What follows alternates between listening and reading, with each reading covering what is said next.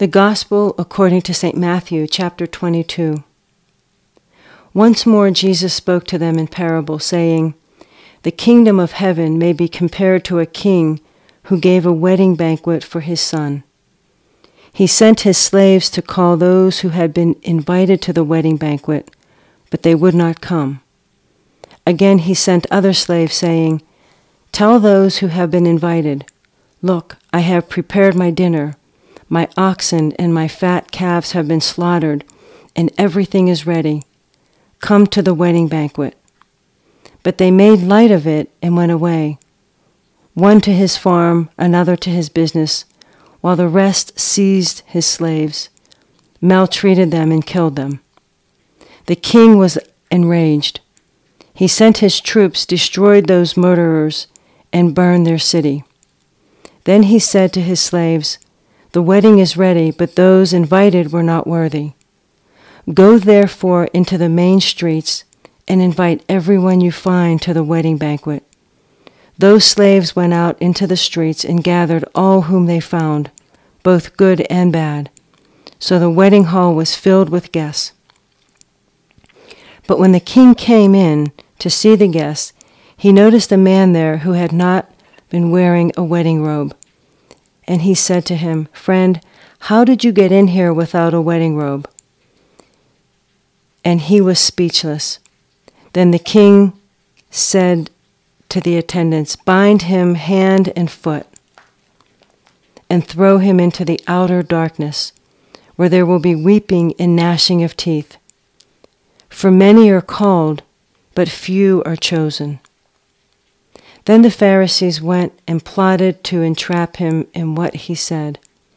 So they sent their disciples to him along with the Herodian, saying, Teacher, we know that you are sincere and teach the way of God in accordance with truth, and show deference to no one. For you do not regard people with partiality. Tell us then, what do you think? Is it lawful to pay taxes to the emperor or not? But Jesus, aware of their malice, said, Why are you putting me to the test, you hypocrites? Show me the coin used for the tax. And they brought him a denarius. Then he said to them, Whose head is this? And whose title? They answered, The emperor's. Then he said to them, Give therefore to the emperor the things that are of the emperor's, and to God the things that are God's. When they heard this, they were amazed, and they left him and went away. The same day some Sadducees came to him, saying, There is no resurrection. And they asked him a question, saying, Teacher, Moses said, If a man dies childless, his brother shall marry the widow and raise up children for his brother. Now there were seven brothers among us. The first married and died childless, leaving the widow to his brother. The second did the same, and also the third, down to the seventh. Last of all, the woman herself died. In the resurrection, then, whose wife of the seven will she be? For all of them had married her. Jesus answered them, You are wrong, because you know neither the Scriptures nor the power of God. For in the resurrection, they neither marry nor are given in marriage, but are like angels in heaven.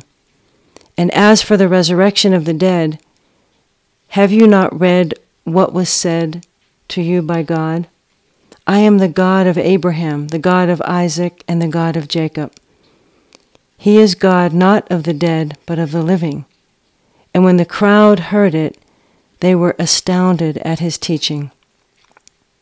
When the Pharisees heard that he had silenced the Sadducees, they gathered together, and one of them, a lawyer, asked him a question to test him Teacher, which commandment in the law is the greatest? He said to him, You shall love the Lord your God with all your heart, and with all your soul, and with all your mind.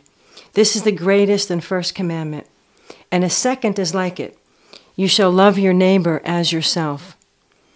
On these two commandments hang all the law and the prophets. Now, while the Pharisees were gathered together, Jesus asked them a question What do you think of the Messiah? Whose son is he? They said to him, The son of David.